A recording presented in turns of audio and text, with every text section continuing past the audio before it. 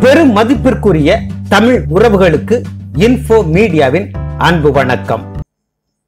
என்னுடைய இறை நம்பிக்கை என்பது எனக்கு தானாக வந்தது.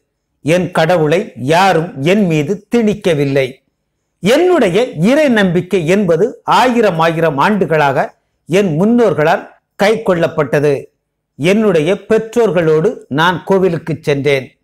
எனக்கும் என் கடவுளுக்குமான அறிமுகம் அவ்வளவுதான். என்னுடைய கடவுளர் மனித வாழ்வில் அதிசயங்களை நிகழ்த்துவதில்லை. மனித அவதாரம் மேற்கொண்ட ராமபிரான் தன் மனைவியை பிரிந்தபோது சக மனிதர்களைப் போலவே அழுது புலம்பினார்.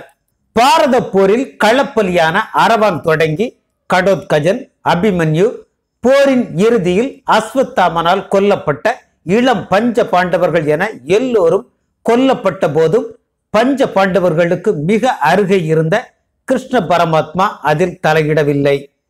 அது விதியின் போக்கு என்பதை அவர் அறிந்திருந்தார். இதுதான் என்னுடைய மதம்.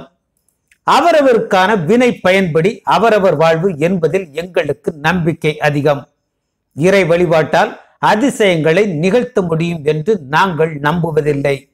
எங்களுடைய முன் வினைக்கேற்ப எங்களுடைய இன்றைய தலைவிதி எழுதப்படுகிறது. இறை வழிபாடு என்பதன் அடிப்படை நோக்கம் மன அமைதி ஒழுக்கமான வாழ்க்கை. நாம் வாழும் இன்றைய வாழ்க்கை மனசாட்சிக்கு உட்பட்டதாக நம்மை மேலே இருந்து ஒரு சக்தி கவனித்து கொண்டே இருக்கிறது என்ற ஒரு எண்ணத்தை உருவாக்குவதற்காக. மற்றபடி என்னுடைய மதம் யாரையும் கையை பிடித்து இழுப்பதில்லை. என்னுடைய கடவுளை வணங்காவிட்டால் நீ நரகத்திற்கு போவாய் என்று யாரையும் சபிப்பதில்லை. ஆறுகள் எந்த வழியில் சென்றாலும் இறுதியில் கடலை வந்தடைவது போல நீ எந்த வழியை பின்பற்றினாலும் இறுதியாக என்னையே வந்து அடைவாய் என்கிறார் கிருஷ்ண பரமாத்மா. இதுதான் என் மதம். ஆனால் கிறிஸ்தவர்கள் அப்படியல்ல. அவர்கள் நான் வணங்கும் கடவுளை சாத்தான் என்கிறார்கள். தங்கள் கடவுளான இயேசு அற்புதங்களை நிகழ்த்துவார் என்பதை திரும்ப திரும்ப பிரச்சாரம் செய்கிறார்கள். கண் தெரியாதவர்கள் பார்க்கிறார்கள். காது கேளாதவர்கள் கேட்கிறார்கள். உடல் ஊனமுற்றவர்கள் நடப்பார்கள் என்று பிரச்சாரம் செய்கிறார்கள். ஒரு நாள் இயேசு இந்த உலகத்திற்கு திரும்ப வருவார். அவர் வரும்போது இந்த உலகமே கிறிஸ்தவ மயமாக இருக்க வேண்டும் என்பதற்காக பல லட்சக்கணக்கான கோடி ரூபாய் செலவு செய்து மதம் மாற்றுகிறார்கள். ஜோஸ்வா ப்ராஜெக்ட் என்ற ஒரு மாபெரும் திட்டத்தின் மூலம் பல லட்சம் கோடிகளை செலவு செய்து மத மாற்றத்தில் மும்மரமாக இறங்கி இருக்கிறார்கள் அவர்களுடைய மத மாற்றத்திற்கு இலக்கானவர்களில் ஒரு குடும்பம்தான் தற்போது போர்வல் குழியில் மாட்டிக்கொண்டிருக்கும் சுஜித் வில்சன் என்ற குழந்தையின் பெற்றோர். இவ்வளவு அதிசயங்களை செய்யக்கூடிய கர்த்தர் தற்போது மூன்று நாட்களாக போர்வல் குழாயில் சிக்கிக் கொண்டிருக்கும் அந்த குழந்தையை ஏன் காப்பாற்றவில்லை? வியாதியஸ்தர்களுக்காக ஜெபிக்கிறோம். கடன் தொல்லை தீர ஜெபிக்கிறோம்.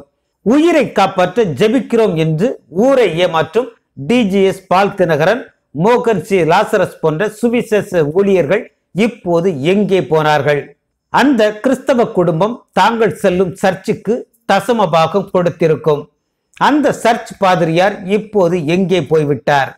இவர்கள் எல்லோரும் ஒன்றாக கிளம்பி அந்த போர்வல் குழியின் அருகே மண்டியிட்டு அந்த குழந்தைக்காக ஜபிக்கலாமே.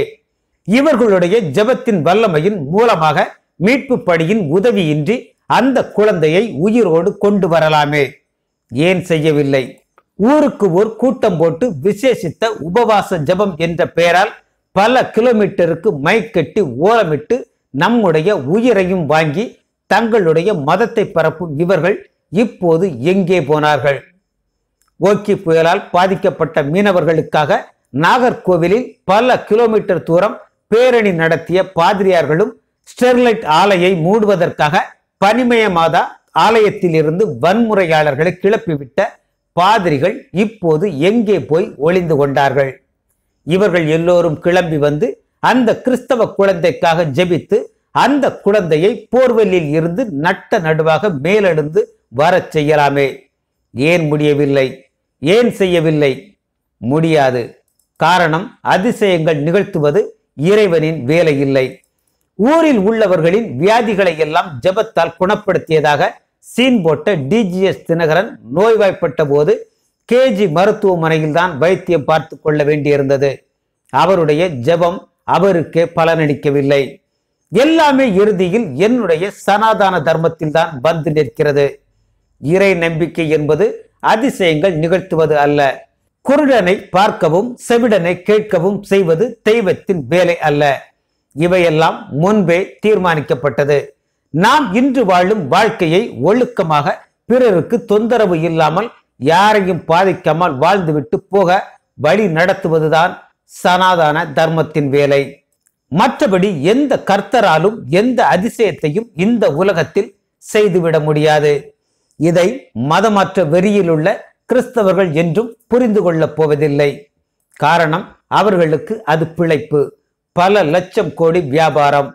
மாதாந்திர இலக்கினை நிர்ணயித்து தூண்டிவிடப்படும் விற்பனை பிரதிநிதிகளைப் போல இவர்களுக்கென்று மதமற்ற இலக்கு நிர்ணயிக்கப்பட்டுள்ளது. அவர்கள் அதை தாண்டி யோசிக்கவே தயாராக இல்லை. ஆனால் இவர்களுடைய பிரச்சாரத்தை நம்பி அதிசயங்கள் நிகழும். கர்த்தர் நம்மை காப்பாற்றுவார். தன்னுடைய கஷ்டத்திலிருந்து விடுவிப்பார் என்று நம்பிக்கொண்டு மதம் மாறும் இந்துக்களுக்கு இது ஒரு கண் திறப்பு. அவ்வளவே. நன்றி